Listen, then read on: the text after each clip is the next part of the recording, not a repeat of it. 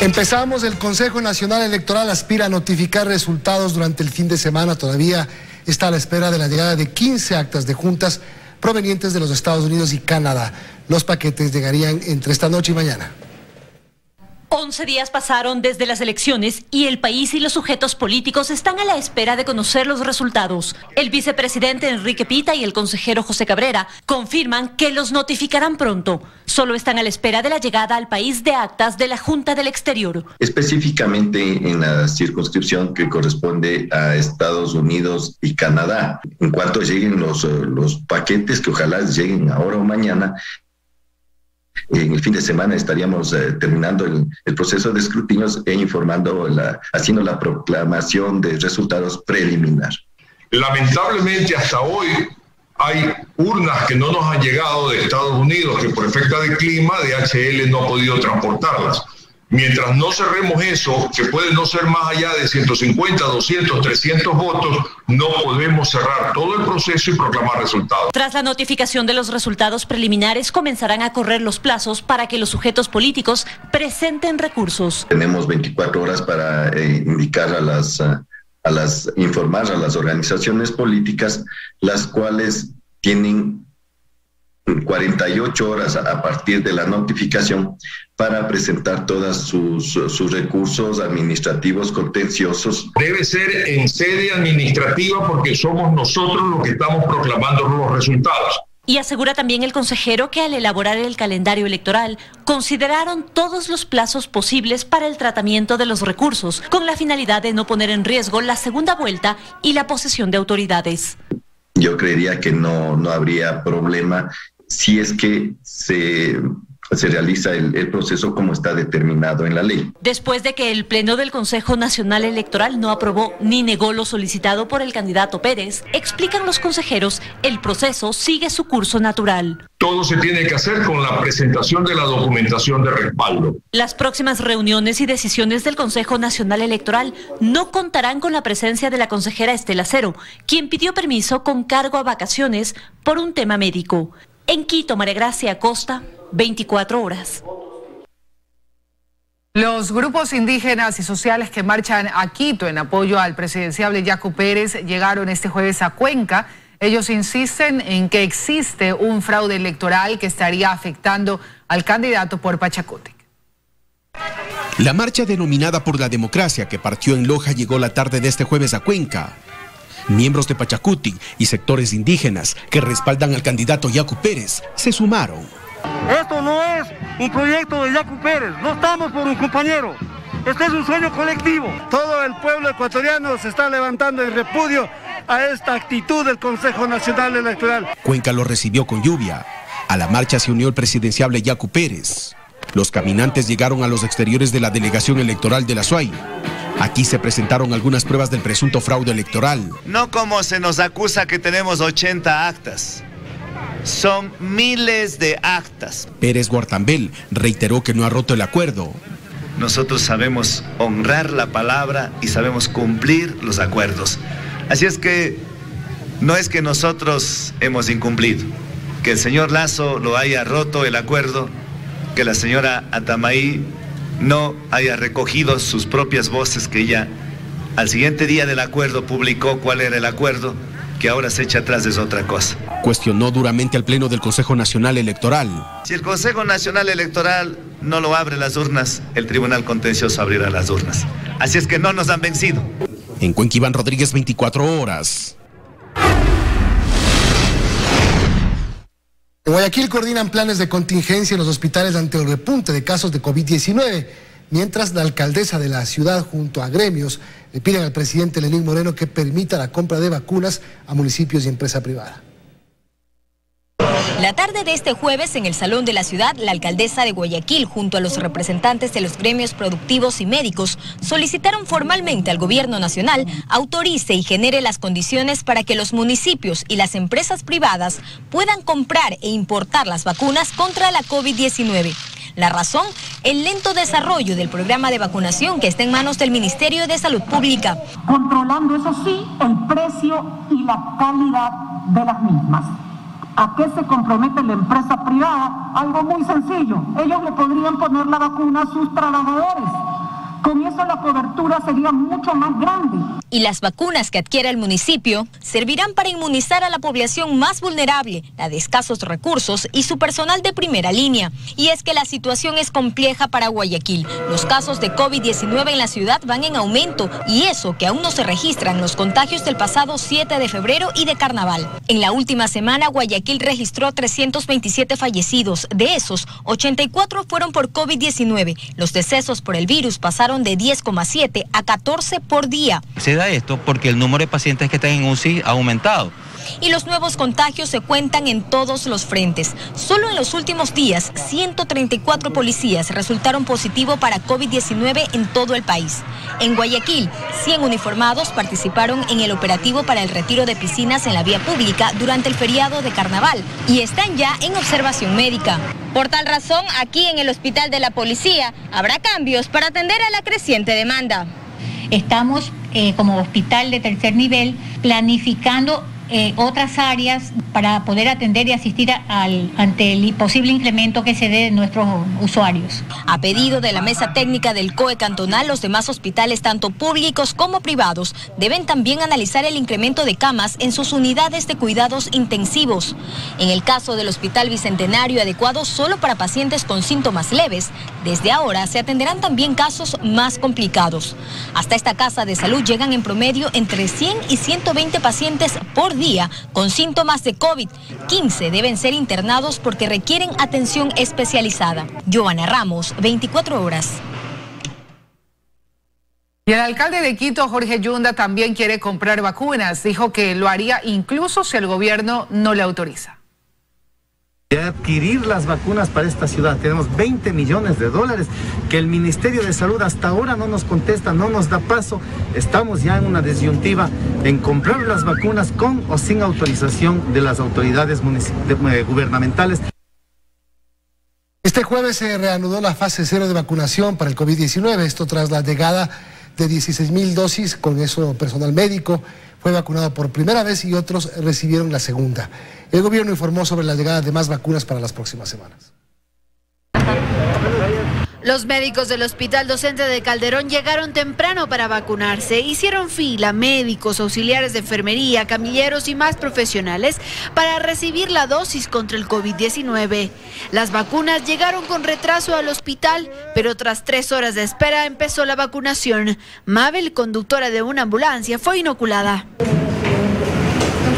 un poco de tranquilidad, porque a veces uno va con miedo hacia la casa y tiene el temor de llegar a contagiar a su familia, entonces estamos como que un poquito más tranquilos, como que con esperanza de que todo va a mejorar. También recibió la primera dosis Marcia, quien es auxiliar de enfermería. Mientras preparaban su dosis, dijo que recibir la vacuna es importante para ellos, que trabajan en primera línea. Para nosotros ya estar un poco más seguros con la inmunidad de nosotros. Y es que para ellos han sido meses complicados, pues han atendido a cientos de ciudadanos contagiados con el virus y muchos han perdido la batalla. Pedimos que se haga conciencia con eh, y sigamos cuidándonos. Ellos han sido vacunados con el segundo lote de dosis que llegó al país esta semana.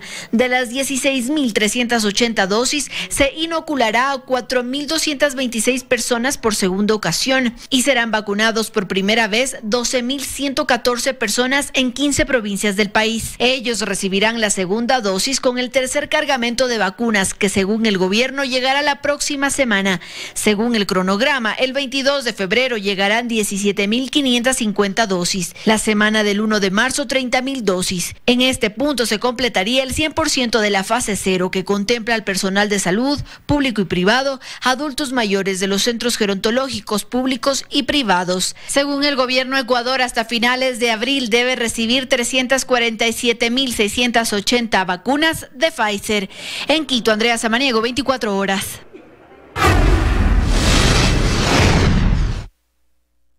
Documentos, informes y conversaciones de WhatsApp son parte de los elementos con los que se vinculó al alcalde de Quito, Jorge Yunda, y sus funcionarios en el delito de peculado tras la compra de pruebas para detección de COVID-19.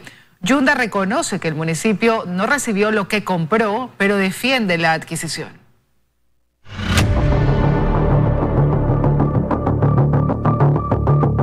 El anuncio y defensa a esta polémica adquisición de pruebas para detección de COVID-19 fueron constantes y llegaron de parte del propio alcalde de Quito. Son las mejores pruebas PCR, se adquirieron en Corea del Sur. Pero al primer intento para procesarlas llegaron las quejas del laboratorio de la Universidad Central y con ello se reveló que el municipio pagó por pruebas PCR, pero llegaron otras. Y de esto se habla hoy. Pruebas PCR. Pero no han sido, ¿qué hacemos? Mire, ahí el tema contractual. Es contratación pública, compramos una cosa y nos venden otra. ahí pasar. Habría que preguntar a quienes hicieron el contrato qué es lo que sucedió en ese proceso. ¿Usted se siente engañado? Es que no decía yo, lo decía el ARSA. Pero si a mí me dicen que son PCR, el ARSA, la autoridad máxima del Ecuador, todos estábamos manejando el término PCR. Lo cierto es que el exsecretario de Salud del municipio, Lenin Mantilla, y Juan Vinelli de Salumet SA, figuras estelares en esta contratación, siguen prófugos. Aún así, la Fiscalía concluye que varios funcionarios del municipio cerraron filas para cubrir una adquisición llena de vicios. La Fiscalía cree de Jorge Yunda que con conocimiento que las pruebas entregadas por Salumet no eran PCR polimerasa, sino RT-LAMP, decidió validarlas. El caso se ampara en las conversaciones de Yunda con la sucesora de Lenin Mantilla en la Secretaría de Salud, Jimena Abarca.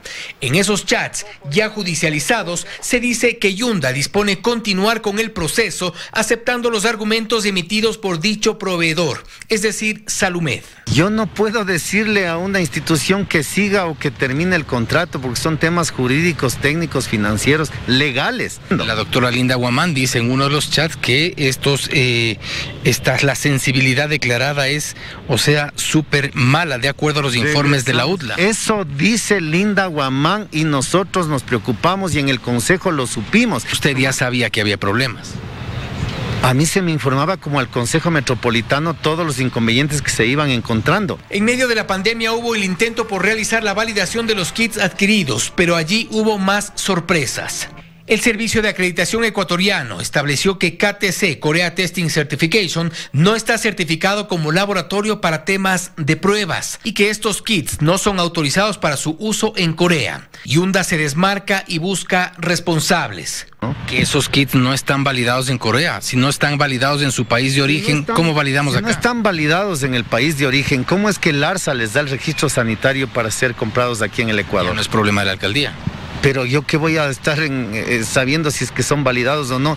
A la lista de incumplimientos se suman las inconsistencias encontradas en cuanto a la cantidad y precio. El informe de necesidad establecía la descripción de especificaciones técnicas para 200 mil pruebas. Salumet no cumplió y proformó 100 mil pruebas y se le adjudicó. Una proforma más barata presentada por la misma empresa despierta dudas, pero Yunda se desmarca. Yo quisiera que usted le pregunte eso a quienes hacen los términos de referencia, a quienes ¿Quién contrató esta prófugo?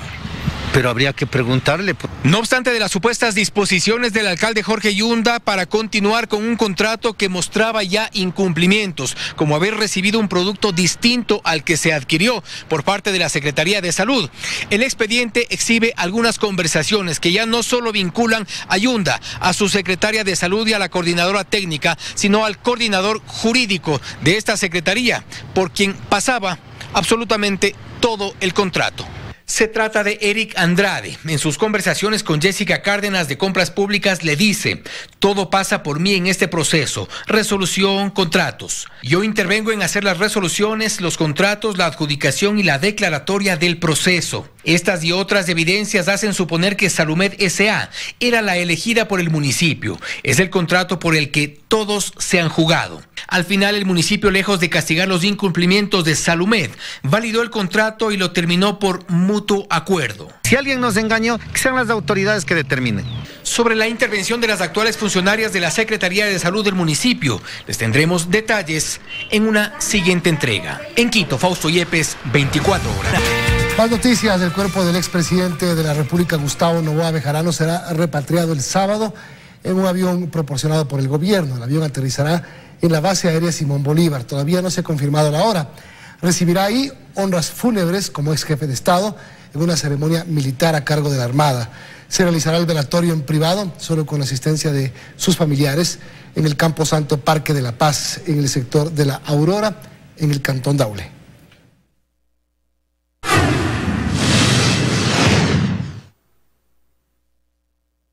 Las fuerzas políticas que constituyen la nueva asamblea deben empezar las conversaciones para tener acuerdos previos para el 14 de mayo, día en el que deben tomar posesión del Parlamento algunos partidos. Esperan mantener las alianzas y otros conseguirlas en el camino. A menos de tres meses de asumir sus cargos, los nuevos asambleístas hablan de acuerdos, pues las cinco minorías los necesitarán para aprobar las leyes y para fiscalizar. La primera prueba de fuego será el 14 de mayo, cuando se instalen por primera vez. Allí deberán llegar a consensos mínimos para elegir a las autoridades de la asamblea, para lo cual se deberán establecer las bancadas legislativas. Y hasta allá apunta Creo, pues tiene 12 curules y requiere de dos puestos más para que sea una bancada legislativa. En algunos casos estamos conversando con algunas personas que, que han llegado a, a través de estos movimientos o organizaciones locales. La otra opción será mantener la alianza con el PSC, que tiene 19 legisladores y se constituye en la tercera fuerza política dentro del Parlamento. Todo es posible en política, podemos conversar y si podemos llegar a un acuerdo, pues lo conversaremos, lo meditaremos y lo decidiremos oportunamente. La izquierda democrática, que tiene 18 puestos, también buscará acercamientos con movimientos locales para al menos llegar a 20 asambleístas. Vamos a marcar sobre todo una agenda legislativa y creo que esa es la base realmente de que pueda unificar o no a las, a las bancadas. Vamos a tener alrededor de 26, 27 legisladores como Pachacuti y todos sabemos que con 27 votos no se aprueba nada. Necesitamos eh, muchos más respaldos para poder aprobar las propuestas, los temas que llevamos. UNES tendría alrededor de 49 asambleístas. Tampoco descarta acuerdos con los independientes, aunque si los independientes quisieran podrían tener su bancada propia. Lo que sí es cierto es que las mayorías móviles también marcarán a esta asamblea, así como marcó el trabajo del periodo que ya termina. En Quito, Andrea Samaniego, 24 horas. En abril, el Ecuador recibirá al menos 450 millones de dólares del Fondo Monetario Internacional. El ministro de Economía recuerda que la aprobación de las reformas al Código Monetario es uno de los requisitos. El proyecto se reenviará en los próximos días cuando disminuya la tensión electoral, dijo. ¿Se tendrán o no los votos en la Asamblea Nacional para la aprobación de las reformas al Código Monetario y Financiero? El ministro de Economía, Mauricio Pozo, dice que harán todo el trabajo necesario, pero que en este tema no hay mayores vueltas que darle. Los que están a favor de la dolarización van a apoyar el proyecto de ley y los que no están a favor no lo harían. El ministro reaccionó ante los cuestionamientos que han surgido desde UNES, la que será la bancada con más asambleístas en el próximo periodo, que ya anticipa acciones para echar abajo el proyecto en cuanto empiecen sus funciones. Ellos serán los responsables de la permanencia o no de la dolarización. Nosotros lo que estamos haciendo es algo que el país necesita. Este es uno de los requisitos del Fondo Monetario Internacional, recuerda.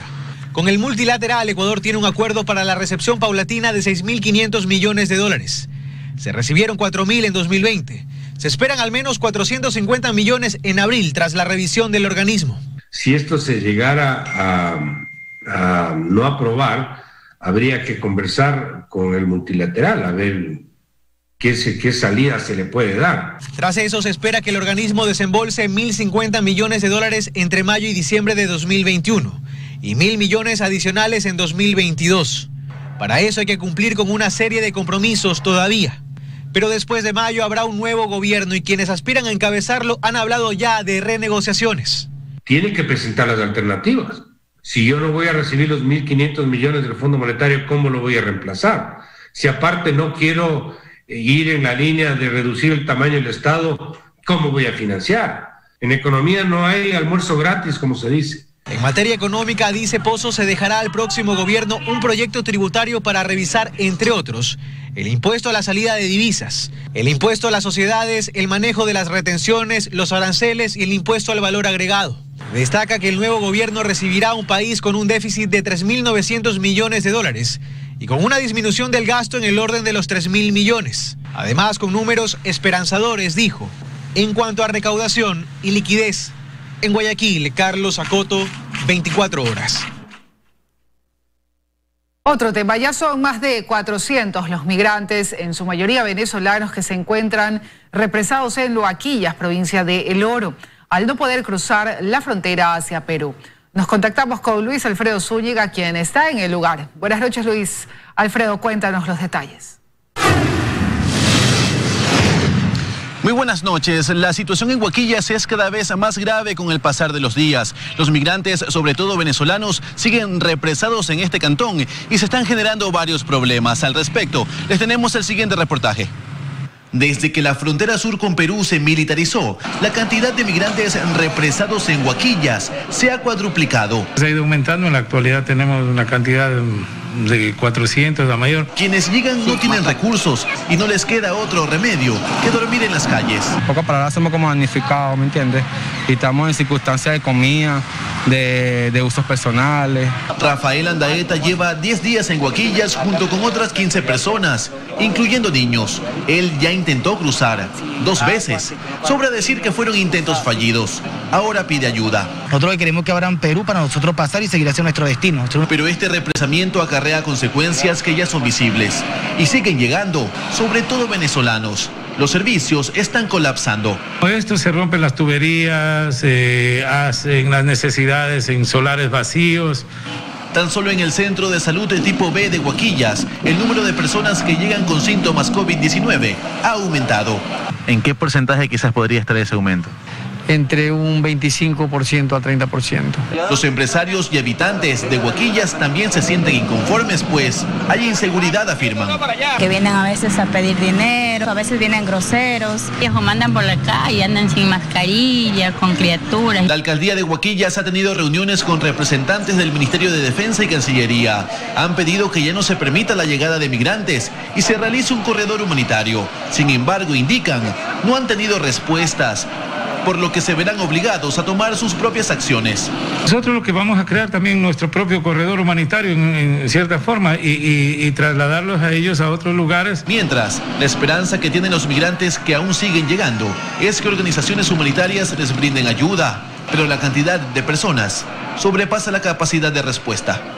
Aún hay un grupo considerable de migrantes que desde Colombia están por llegar a Guaquillas, por ello la alcaldía teme por lo que puede pasar en los próximos días. Es lo que podemos informarles hasta el momento. Ustedes como hacen estudios. Muy buenas noches. Buenas noches Luis, gracias por la información desde la frontera. Pausa y volvemos. Solamente 280 mil personas se han desafiliado del IES.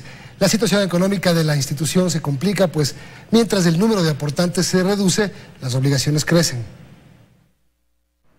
Tan solo en el primer mes del año, 18.500 personas en relación de dependencia se desafiliaron del Instituto Ecuatoriano de Seguridad Social, 13.000 personas correspondientes al sector privado y 5.460 del público. Un impacto importante para la liquidez de la entidad que mientras pierde un número considerable de afiliados, suma obligaciones y gastos. Solo para pagar las prestaciones a los jubilados, el instituto destinó el año pasado 4.433 millones de dólares.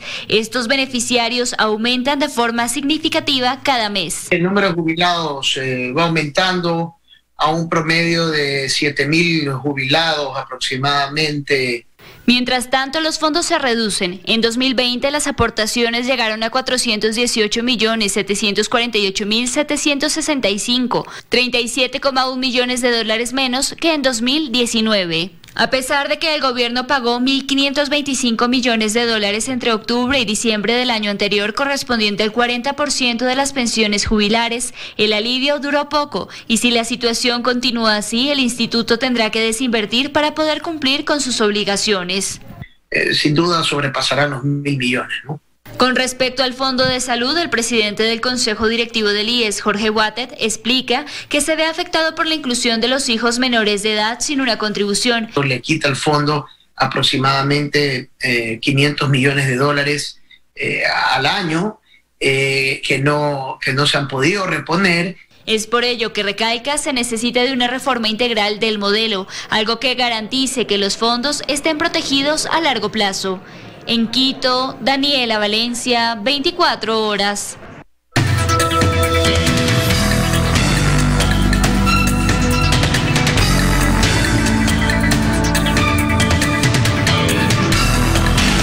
Por tu salud. Hola amigos, muy buenas noches. Soy el doctor Esteban Ortiz. Bienvenido nuevamente a su segmento Por tu Salud. El día de hoy vamos a hablar sobre la suspensión de la vacuna de Oxford AstraZeneca en Sudáfrica. Pues el gobierno de este país decidió suspender la aplicación de la vacuna desarrollada por la Universidad de Oxford en conjunto con la empresa AstraZeneca. Esto después de un estudio que mostrase que la eficacia era limitada en contra de la variante del coronavirus denominada 50.1Y B2 o a veces más comúnmente denominada B1351. O si usted prefiere, pues le dice la variante sudafricana. Esta variante parecería que no tuvo mayor efecto sobre la generación de respuesta inmunológica con las personas que fueron vacunadas por este tipo de vacuna. Los expertos que lideran la respuesta contra el COVID-19 en este país anunciaron que la última medida que toma este país es tratar de suspender temporalmente el estudio hasta que se tenga mayor datos y mejor calidad en los datos para poder tomar una decisión en realidad si es que esta vacuna previene o no los contagios por la variante sudafricana. Esto obviamente es un revés que nosotros vemos en lo que es el desarrollo de las vacunas. Cuando una vacuna no funciona contra una u otra variante, podría pues tener algunas implicaciones tanto en la geopolítica, en la implementación de las estrategias de vacunación y demás. Por ahora es muy temprano como para decir que esta vacuna no funciona con las variantes. Sabemos que la información es limitada. Sin embargo, creemos nosotros que los datos preliminares de los estudios pues sugieren que estas vacunas podrían hasta ahora trabajar bien con las variantes que nosotros conocemos y que al menos están en nuestra región. Creemos que otras estrategias de vacuna, como son las estrategias de Pfizer o de Moderna, pues han tenido efectos positivos sobre estas variantes. Estos estudios, que obviamente se publicarán en completo en las próximas semanas, nos dirán si es que en realidad la variante sudafricana tiene o no alguna disminución en relación a los casos que ya han sido vacunados o no.